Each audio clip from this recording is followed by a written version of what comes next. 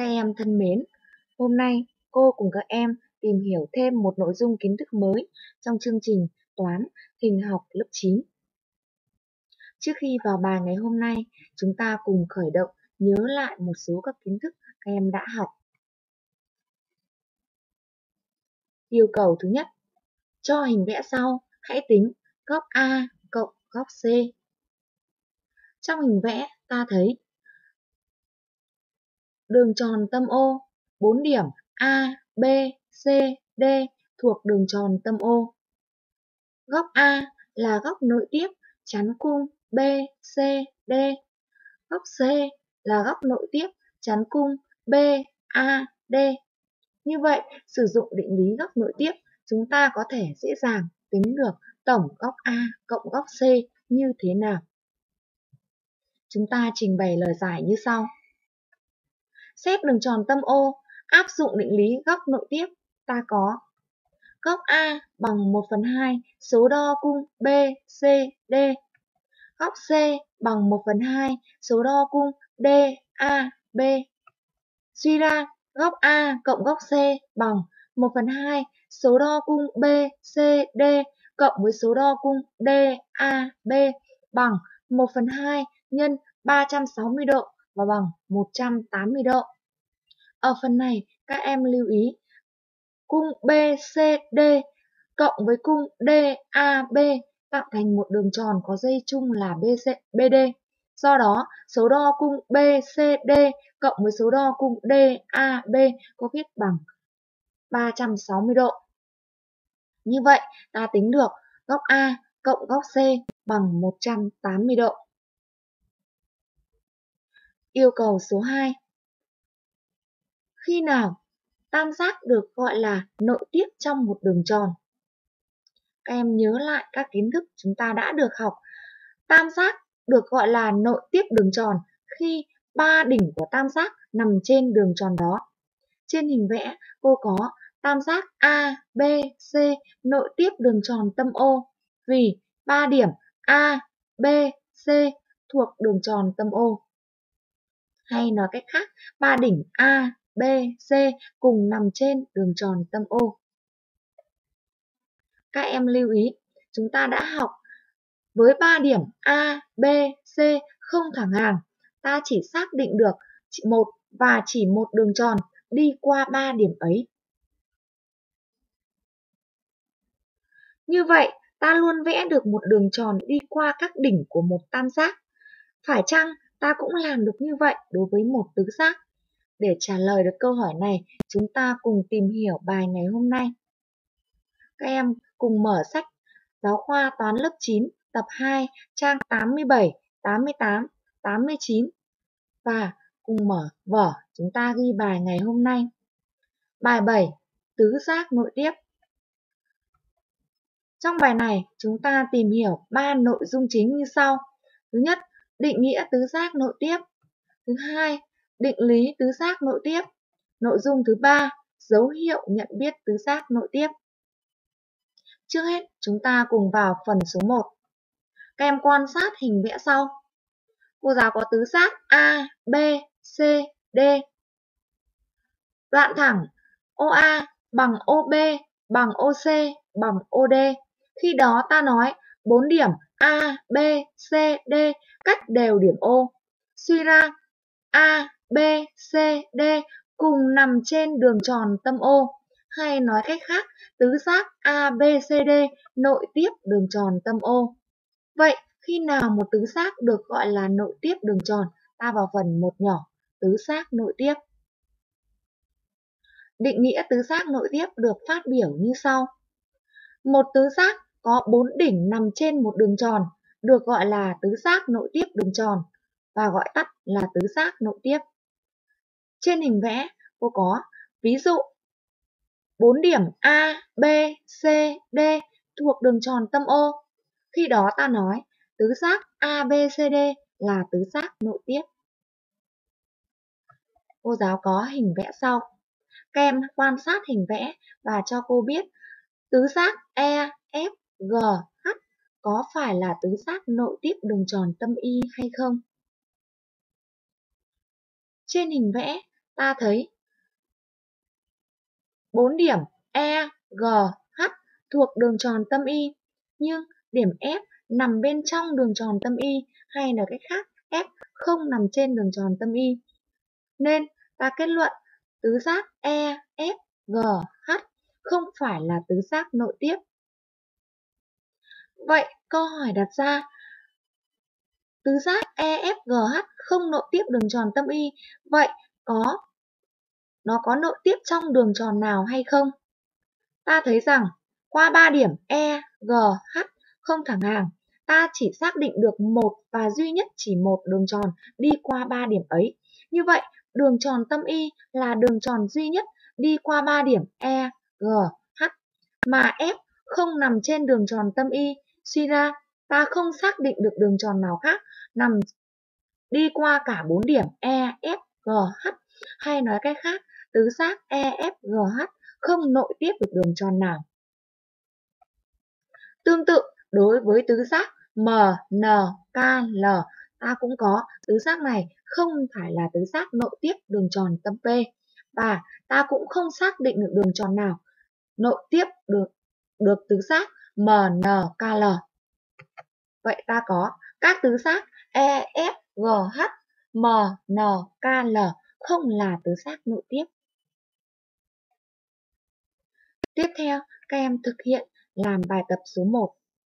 Tính tổng số đo các góc đối của tứ giác trong hai hình vẽ sau.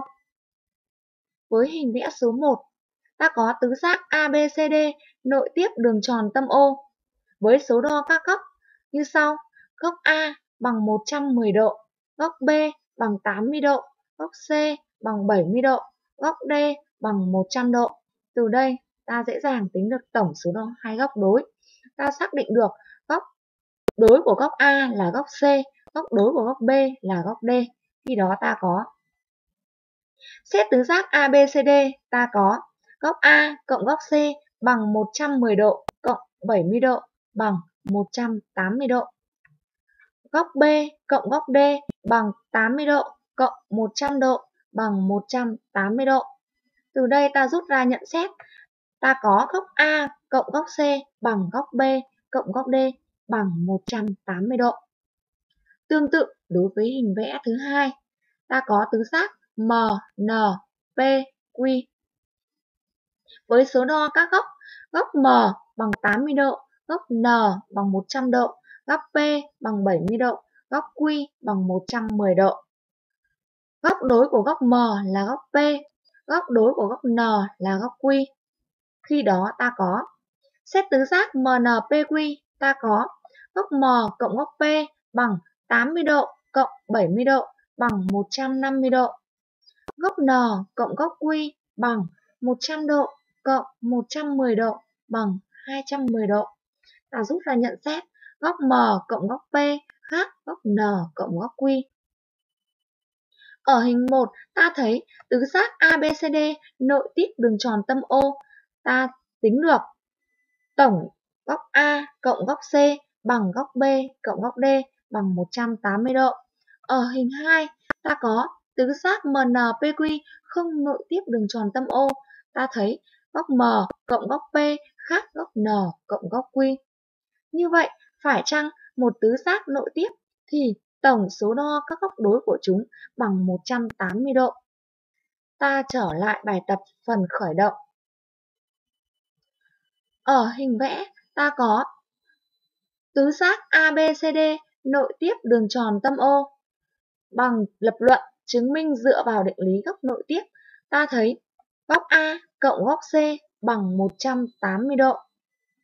Tương tự, chúng ta cũng chứng minh được góc B cộng góc D bằng 180 độ.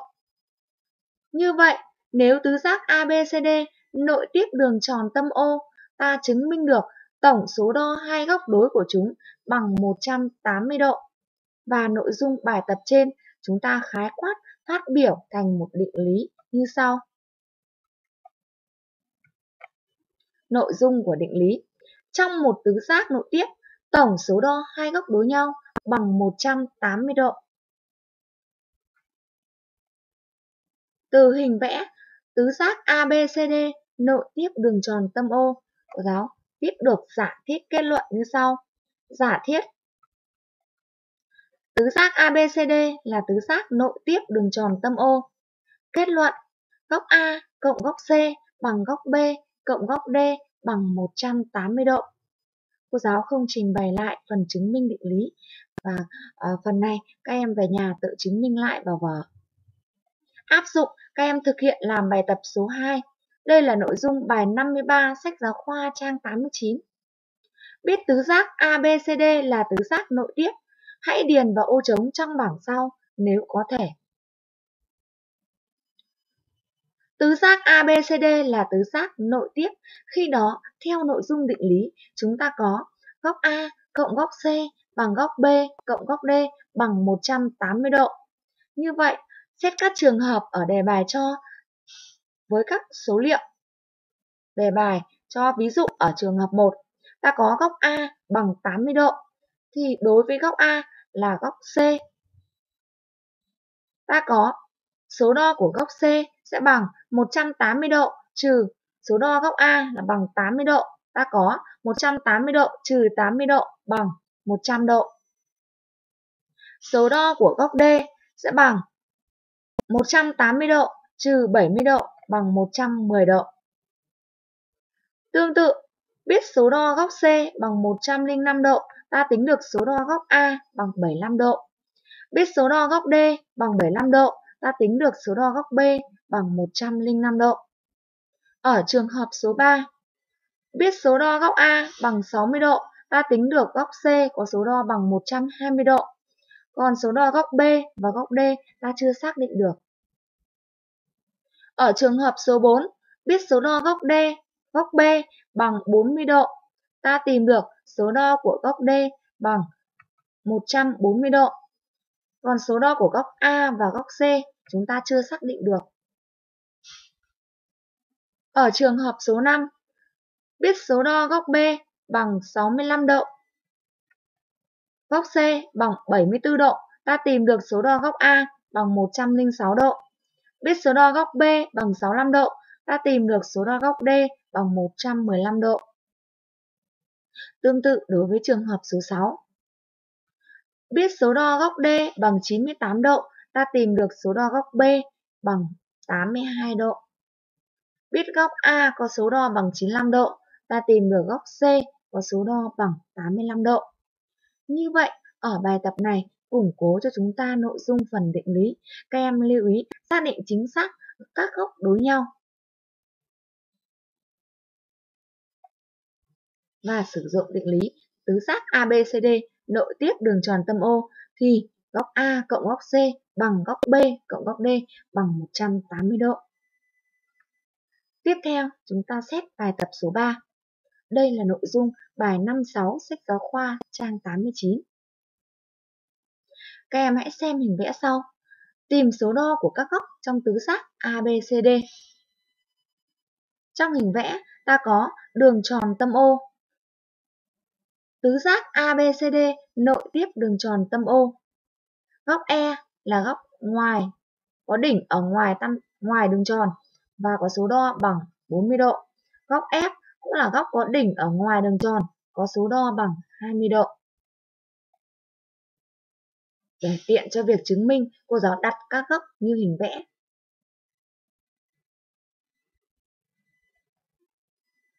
Các em hãy sử dụng tính chất định lý góc ngoài của một tam giác và định lý tứ giác nội tiếp để chúng ta thực hiện tính số đo của các góc của tứ giác ABCD. Chúng ta cùng thực hiện như sau. Ta có góc C1 bằng góc C3 do đây là hai góc đối đỉnh. Cô đặt góc C1 bằng góc C3 bằng x. Áp dụng tính chất góc ngoài của tam giác, ta có góc B1 bằng góc E cộng góc C1 bằng 40 độ cộng góc x. Góc D1 bằng góc F cộng góc C3 bằng 20 độ cộng góc x.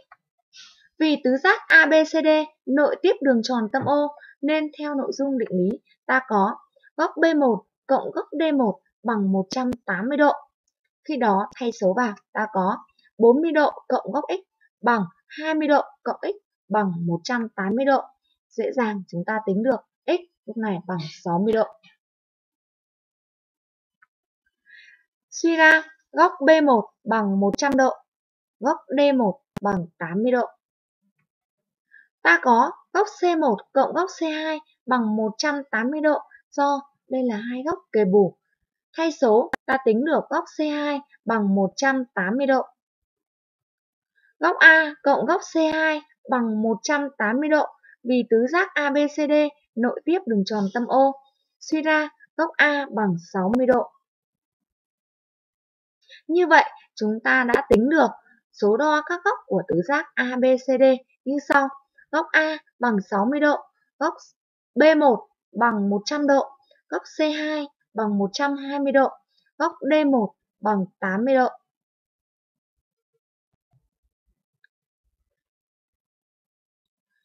Như vậy, chúng ta thấy một tứ giác nội tiếp đường tròn thì tổng số đo hai góc đối của chúng bằng 180 độ.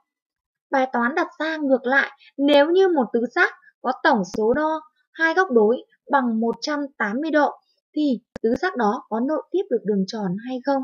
Chúng ta cùng sang mục 3, định lý đảo. Định lý đảo được phát biểu như sau. Nếu một tứ giác có tổng số đo hai góc đối nhau bằng 180 độ thì tứ giác đó nội tiếp được đường tròn. Trên hình vẽ, cô có tứ giác ABCD có góc A cộng góc C bằng 180 độ. Khi đó, ta có tứ giác ABCD nội tiếp đường tròn tâm O. Chúng ta viết được giả thiết kết luận của định lý đảo như sau.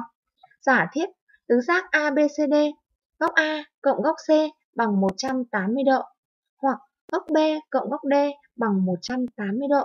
Ta có kết luận tứ giác ABCD là tứ giác nội tiếp. Định lý này không yêu cầu các em chứng minh. Tuy nhiên, sách giáo khoa người ta đã chứng minh cho các em. Các em có thể tìm hiểu, tham khảo thêm ở sách giáo khoa trang 88. Áp dụng định lý trên, chúng ta thực hiện làm bài tập số 4. Đây là nội dung bài 57, sách giáo khoa trang 89. Trong các hình vẽ sau, hình nào là tứ giác nội tiếp? Chúng ta có các hình. Hình bình hành, hình vuông, hình chữ nhật, hình thang vuông, hình thang cân, hình thang. Trước hết ta xét hình bình hành. Hình bình hành, theo tính chất chúng ta có các góc đối của hình bình hành bằng nhau. Vậy, tổng số đo hai góc đối của hình bình hành chưa chắc đã bằng 90 độ. Như vậy, ta kết luận hình bình hành không phải là tứ giác nội tiếp. Hình vuông có tổng số đo hai góc đối bằng 180 độ như vậy ta có hình vuông là một tứ giác nội tiếp. Hình chữ nhật cũng có tổng hai góc đối bằng 180 độ, nên ta có hình chữ nhật cũng là một tứ giác nội tiếp.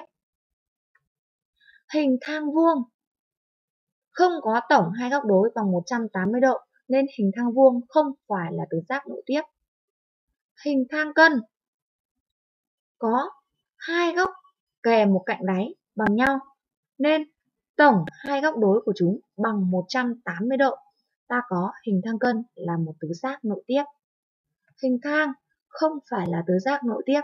Như vậy, trong các hình vẽ đã cho ta có ba hình, hình thang cân, hình vuông, hình chữ nhật là các tứ giác nội tiếp. Tiếp theo, chúng ta xét bài tập số 5. Đây là nội dung bài tập 54, sách giáo khoa trang 89. Đề bài như sau. Tứ giác ABCD có góc ABC cộng góc ADC bằng 180 độ. Chứng minh rằng các đường trung trực của AC, BD, AB cùng đi qua một điểm. Để giải được bài tập này, cô giáo lưu ý với các bạn một số chú ý như sau. Thứ nhất, trong một tam giác, các đường trung trực của ba cạnh luôn đồng quy. Đây là tính chất các em đã học trong chương trình hình học lớp 7. Lưu ý thứ hai, trong một đường tròn, các đường trung trực của các dây không song song thì đồng quy. Áp dụng, chúng ta thực hiện giải bài tập số 5. Trước hết, chúng ta vẽ hình. Tứ giác ABCD có góc ABC cộng góc ADC bằng 180 độ. Suy ra, tứ giác ABCD nội tiếp được đường tròn. Tâm OO Khi đó ta có OA bằng OB bằng OC bằng OD. Ta suy ra được điểm O nằm trên đường trung trực của đoạn thẳng AB, BD, AC. Vậy, các đường trung trực của AC, BD, AB cùng đi qua một điểm. Đó là điểm O. Như vậy, ta đã chứng minh được bài toán.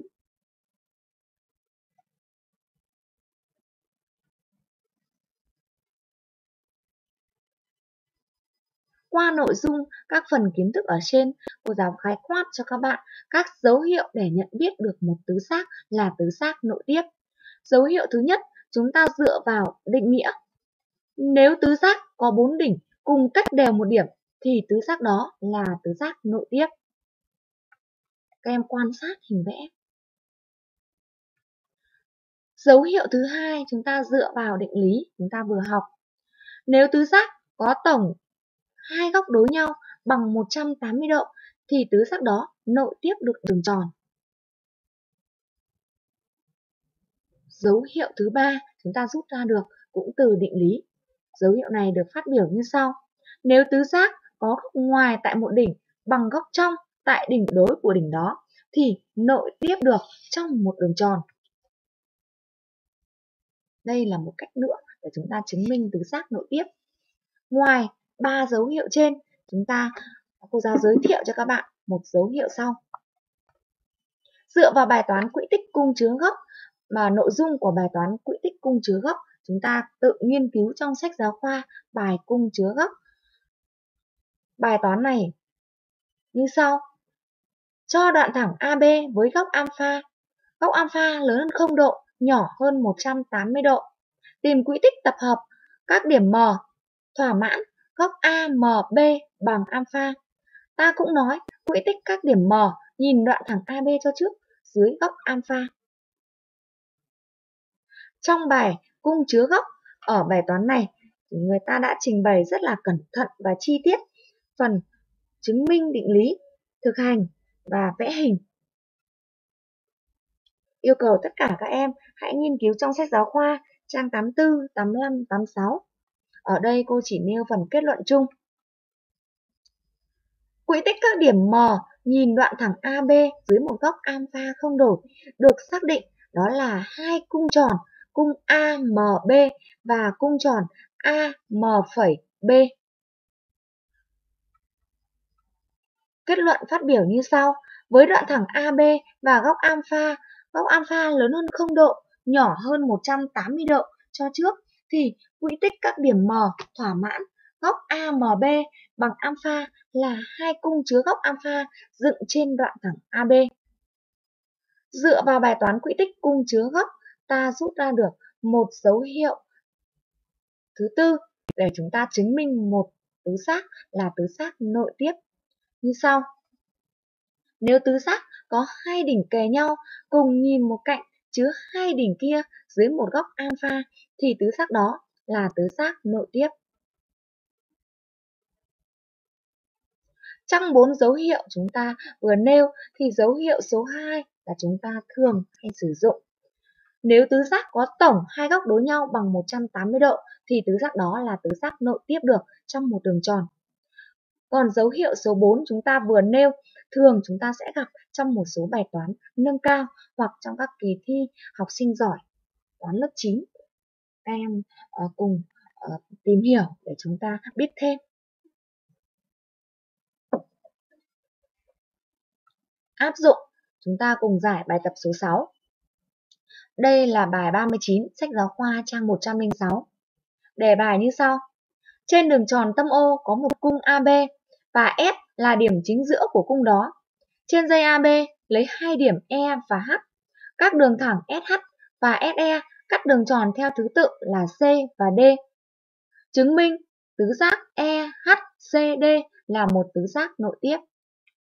Các em hãy đọc kỹ đề bài và tiến hành vẽ hình. Đầu tiên, chúng ta vẽ đường tròn tâm O. Trên đường tròn tâm O lấy hai điểm A và B ta xác định được cung AB. Lấy S là điểm chính giữa của cung đó, nghĩa là cung AS phải bằng cung BS.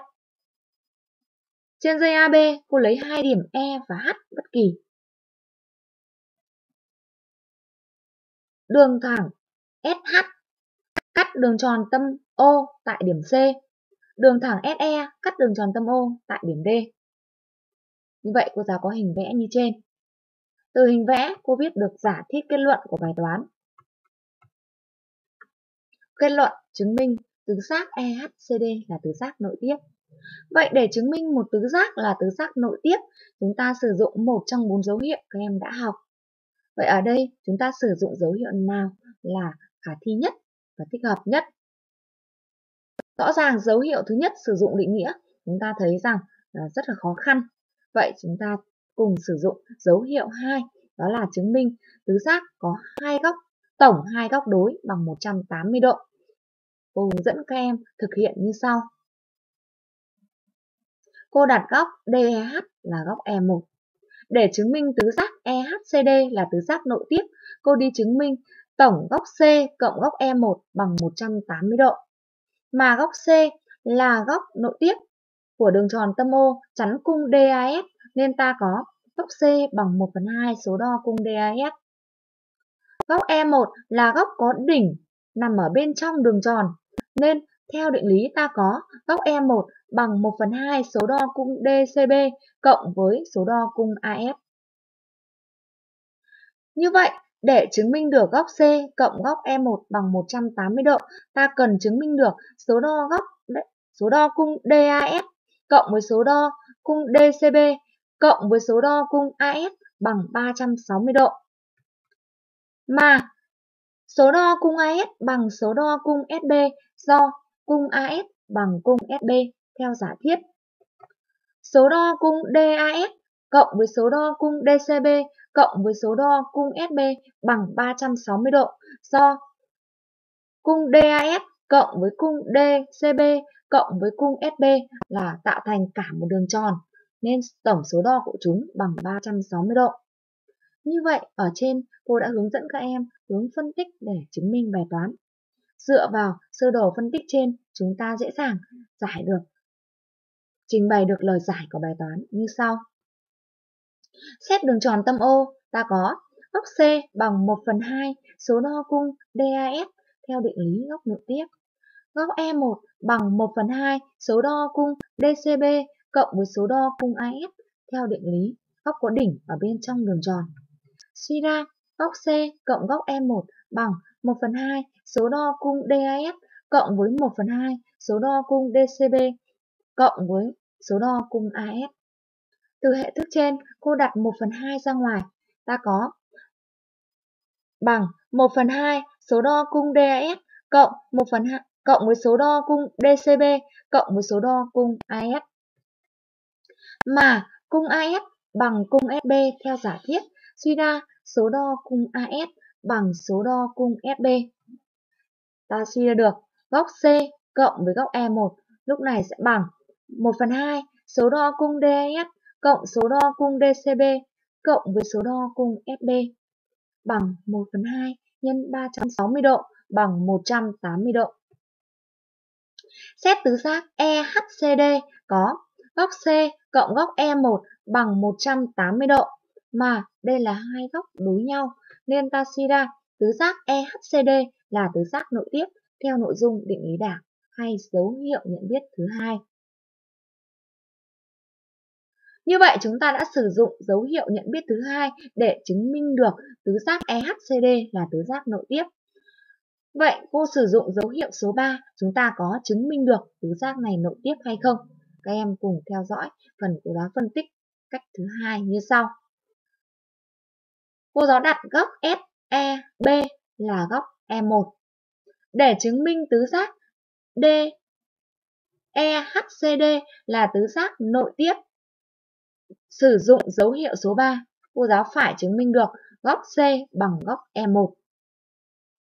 Tương tự, ta có góc C bằng 1 phần 2 số đo cung DAS do là góc nội tiếp chắn cung DAS. Góc E1 bằng 1 phần 2 số đo cung DA cộng số đo cung SB do góc E1 là góc có đỉnh ở bên trong đường tròn chắn hai cung AD và cung SB. Như vậy, cô cần phải chứng minh được số đo cung DAS bằng số đo cung DA cộng số đo cung SB. Mà số đo cung AS bằng số đo cung SB. Số đo cung DAS bằng số đo cung DA cộng với số đo cung AS do A thuộc cung DS. Từ việc phân tích đề phân tích bài toán như trên, chúng ta có thể dễ dàng trình bày lời giải, chứng minh được tứ giác EHCD là tứ giác nội tiếp dựa vào dấu hiệu số 3. Cách thứ hai các bạn à, về nhà tự trình bày và các em có thể trình bày lời giải của bài toán trên theo một trong hai cách cô đã trình bày. Mà cách nào các em thấy đơn giản hơn thì các em có thể thực hiện. Như vậy, bài giảng của cô đến đây là kết thúc. Yêu cầu về nhà của các bạn sẽ thực hiện cô các nội dung như sau. Một, các kiến thức các em cần phải nhớ. Các em hãy nhớ cho cô định nghĩa về tứ giác nội tiếp, các tính chất về tứ giác nội tiếp, các dấu hiệu nhận biết tứ giác nội tiếp. Thực hiện làm các bài tập 53, 54, 55, 56, sách giáo khoa trang 89, bài tập 40, sách bài tập trang 106. Chuẩn bị bài sau. Các em hãy chuẩn bị đầy đủ sách vở và các dụng cụ học tập. Nghiên cứu nội dung bài số 7, đường tròn ngoại tiếp, đường tròn nội tiếp. Phát biểu định nghĩa của đường tròn nội tiếp, đường tròn ngoại tiếp đa giác và các tính chất của nó. Bài giảng của cô đến đây là kết thúc. Cô hy vọng các em đã lĩnh hội được các kiến thức mới và vận dụng được giải quyết một số dạng bài tập. Cô chào tất cả các em. Hẹn gặp lại các em trong các bài giảng sau.